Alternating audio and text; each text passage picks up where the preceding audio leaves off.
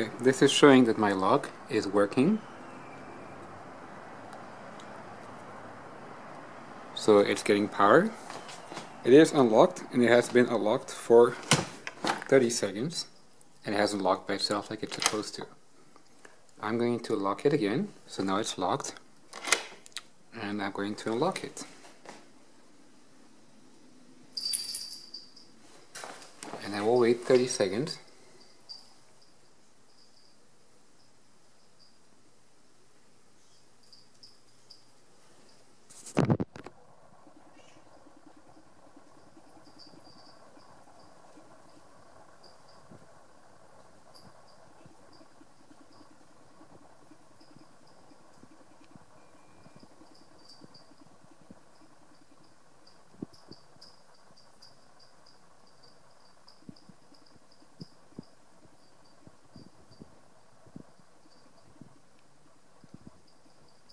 See the lock is not locking itself at all.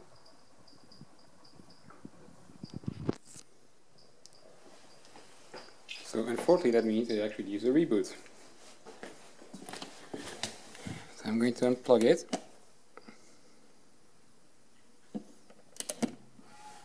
Plug it back in. You can see the lock is initializing. I'm going to lock it. And I'm going to unlock it again.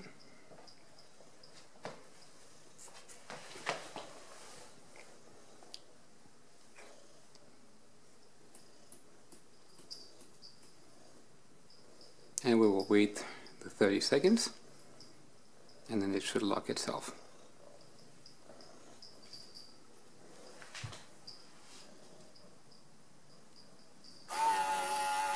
There you go it locked itself after a reboot. So it gets in a condition where it will not lock itself anymore and it needs to have power taken away and put back before it will work again.